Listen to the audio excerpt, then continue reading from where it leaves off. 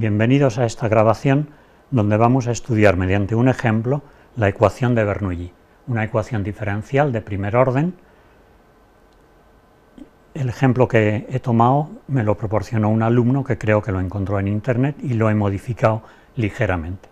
La ecuación es 3 por 1 más x2 por y' igual 2xy por 5y cubo menos 1, con una condición inicial y de 0 igual 1 partido por raíz cúbica de 4.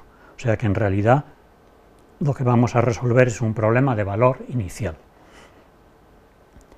Primero tenemos que ver qué tipo de ecuación tenemos delante. Podemos, lo primero que se nos puede ocurrir es ver si es una ecuación diferencial exacta, que es como lo más sencillo, pero enseguida veríamos que no, no dedico tiempo a eso. Luego observamos que tiene un término en i' con un coeficiente que depende solo de x, un término en i que es 2 menos 2xy, o sea, tiene una parte que es lineal, y luego hay una parte no lineal con un factor y a la cuarta. Eso nos hace pensar en una ecuación de Bernoulli, luego lo veremos con más detalle. Entonces, de momento voy a despejar i', que es lo primero que hacemos siempre, escribir las ecuaciones en forma normal, i' es igual a 2 por 5, 10, x y a la cuarta, menos 2xy, partido por 3 y por 1 más x2. Organizamos un poco mejor esto, pongo primero el término en y, menos 2x partido por 3, 1 más x2, por y, más 10x partido por 3, 1 más x2, multiplicado por y a la cuarta. Entonces, aquí allí, bueno, esto todavía lo podemos ordenar un poco más, pasando el término en i al primer miembro, y prima,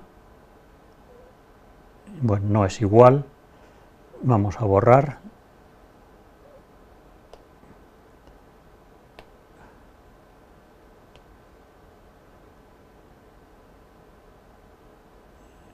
y ahora es en dibujar y ahora escribir otra vez.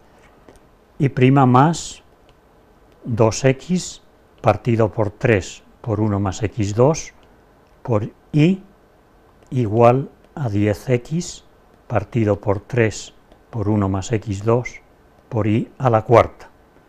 Entonces aquí vemos claramente que esto es una ecuación de Bernoulli, con una parte que es lineal, el primer miembro, y una segunda parte que sería lineal si no tuviera el factor i a la cuarta. Está multiplicado por un i a la alfa, que es lo que la convierte en una ecuación típica de Bernoulli.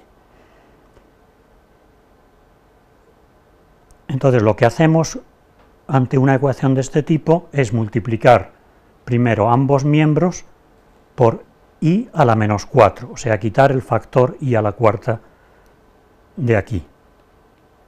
Y tendremos i' por i a la menos 4 más 2x partido por 3 por 1 más x2 por i a la menos 3 igual a 10x partido por 3 por 1 más x2. Y ahora, esto es obligatorio en una ecuación de Bernoulli, hacemos un cambio de función incógnita. Cambiamos la incógnita y de x por una nueva función incógnita que llamo v de x, siendo, ahora esto no estaba previsto,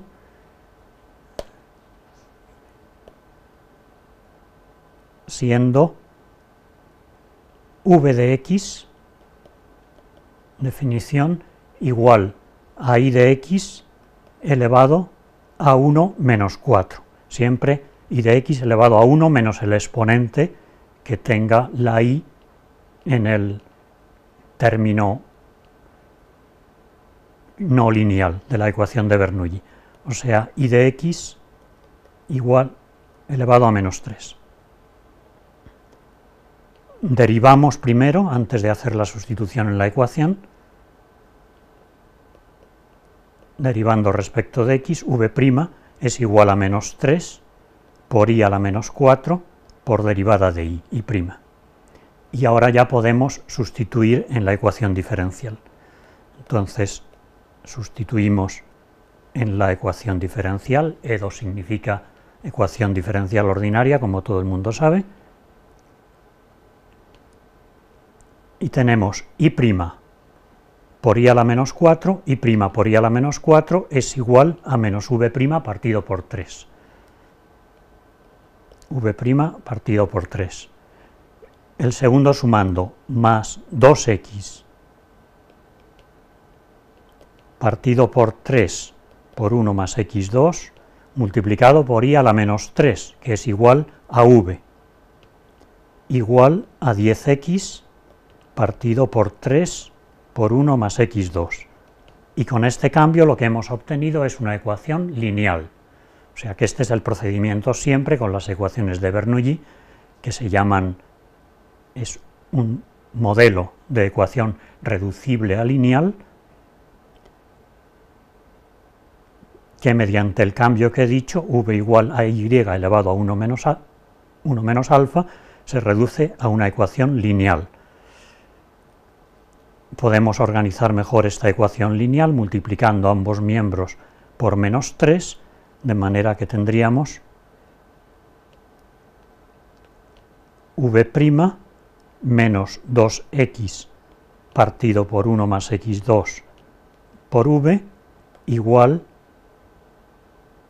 a menos 10x partido por 1 más x2. Ahora, ante una ecuación lineal, esta ya es una ecuación lineal sin ningún problema, lo que hacemos es resolver primero la ecuación homogénea asociada y luego hallar una solución particular de la ecuación completa. La ecuación lineal homogénea asociada es v' menos 2x partido por 1 más x cuadrado multiplicado por v igual a 0. O sea, ecuación homogénea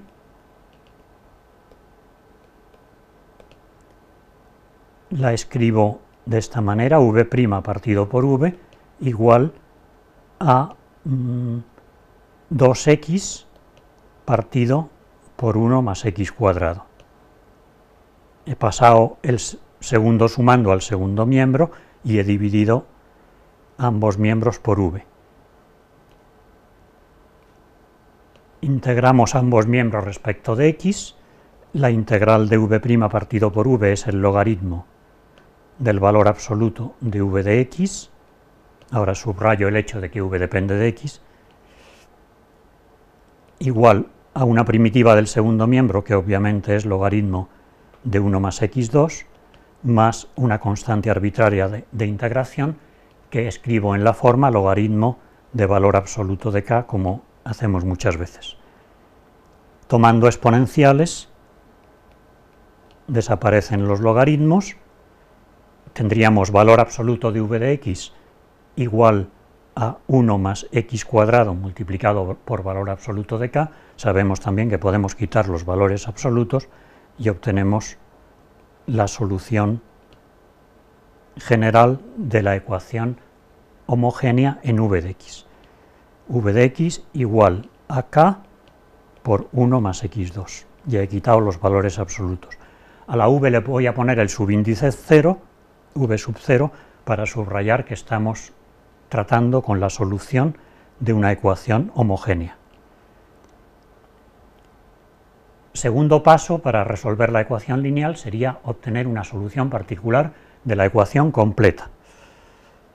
Para eso usaríamos el método de variación de las constantes, que es conocido, muy conocido, pero en este caso no lo voy a usar porque hay una solución particular de la ecuación completa absolutamente obvia, entonces la vamos a encontrar a ojo.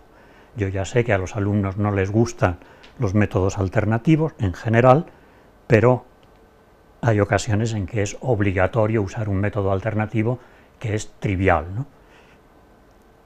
Entonces, solución particular de la ecuación completa, v sub p de x,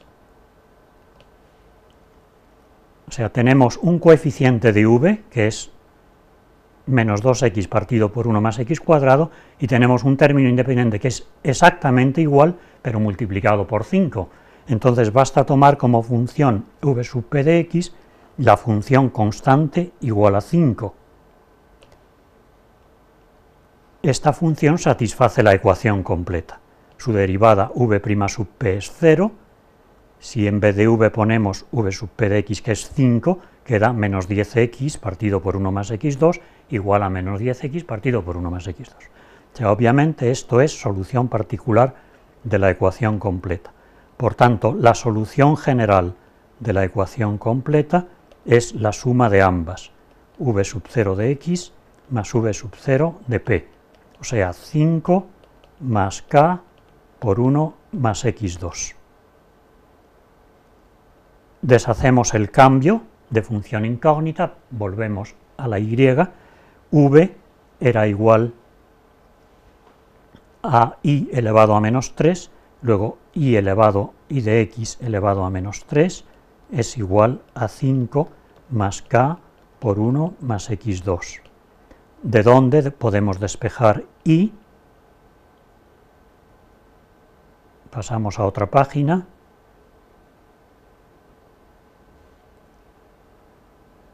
Teníamos que despejar i de x. i de x será igual a 1 partido por la raíz cúbica de 5 más k por 1 más x2.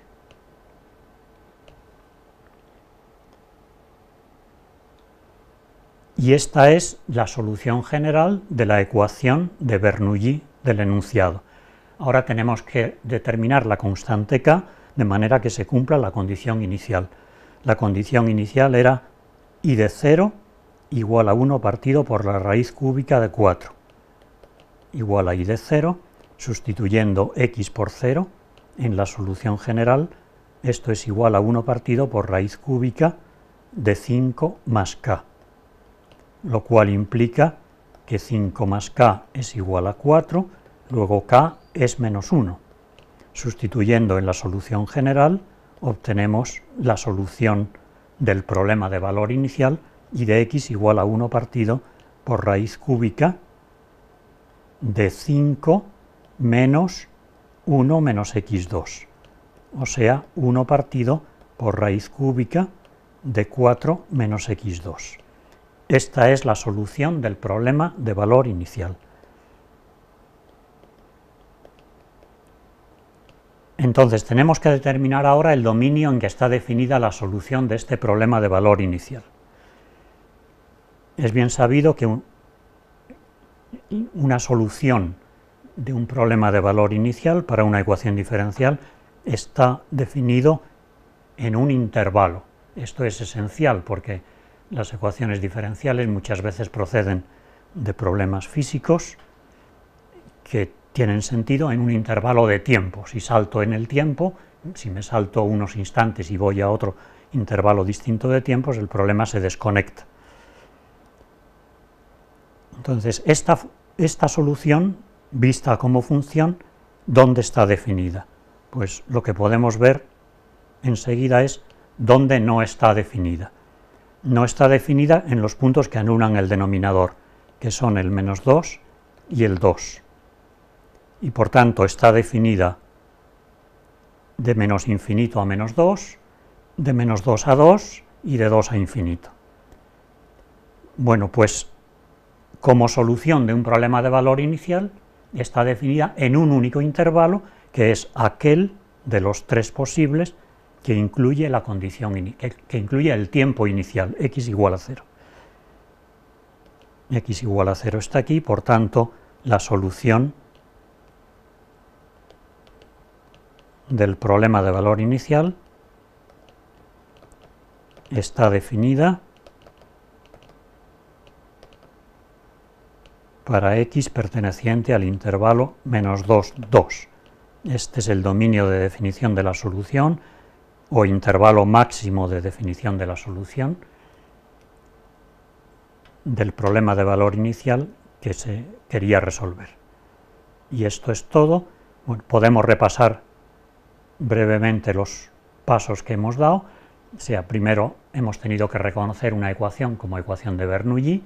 Eso es fácil porque tiene una parte lineal y una parte con un factor y elevado a una potencia alfa. Hemos quitado ese factor i a la alfa multiplicando ambos miembros por i a la menos alfa.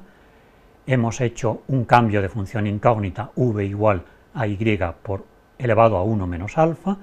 Hemos derivado, hemos sustituido en la ecuación y obtenemos una ecuación lineal que resolvemos como es habitual. Y luego la solución general depende de una constante arbitraria que determinamos imponiendo la condición inicial. Y luego hay que determinar, hay que calcular el intervalo de definición de la solución. Esto es todo, muchas gracias.